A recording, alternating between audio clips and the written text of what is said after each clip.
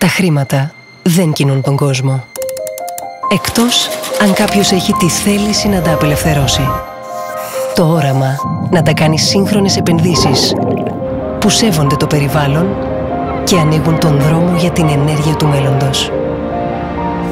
Να τα βάλει να δουλέψουν σε νέα, φιλόδοξα έργα που θα δημιουργήσουν καινούργιες θέσεις εργασίας.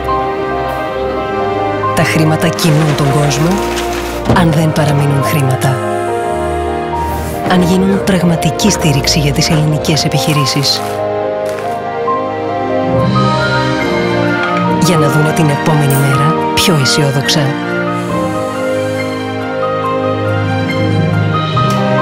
Γιατί για εμάς τη Eurobank τα χρήματα κινούν τον κόσμο μόνο όταν μας πηγαίνουν όλους μπροστά.